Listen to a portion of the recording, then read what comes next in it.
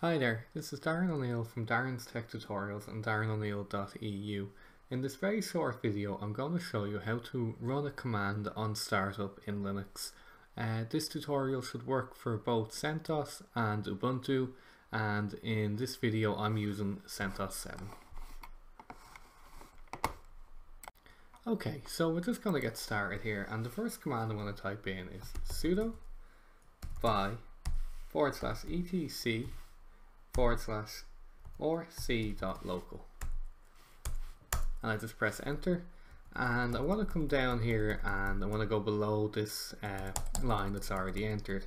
Now you can see it is giving us some warnings that other um, other methods can be used for doing this. So this is one way that you can do it. So basically what I want to do here is I want to create my own little log as such so I have a command on uh, the clipboard I'm going to copy and paste in here now and I'll explain what I want what I wanted to do.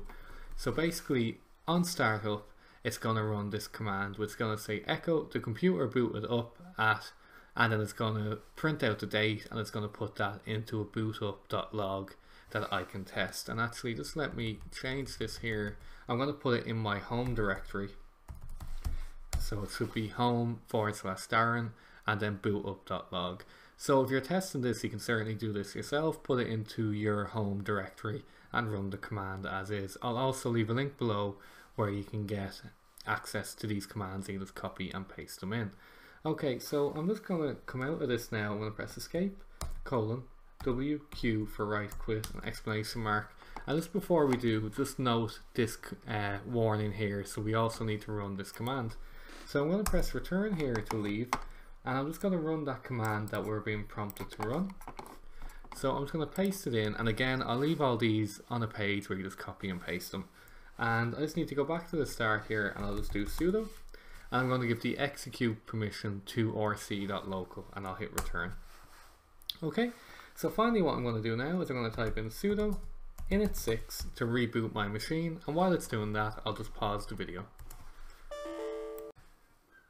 Okay, so my machine is booted back up here, so let's check if this has worked first. So I'm going to do ls forward slash home forward slash Darren, and we can see yes, we have our bootup.log here.